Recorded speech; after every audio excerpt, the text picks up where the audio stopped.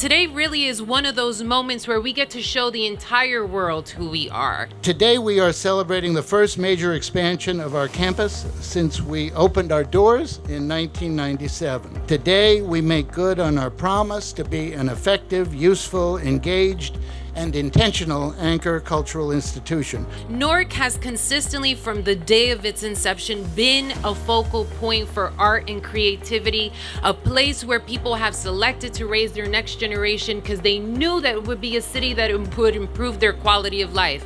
As Newark goes, so goes the state of New Jersey. Without the arts, we're nobody. Uh, the arts are integral to our state, to our society,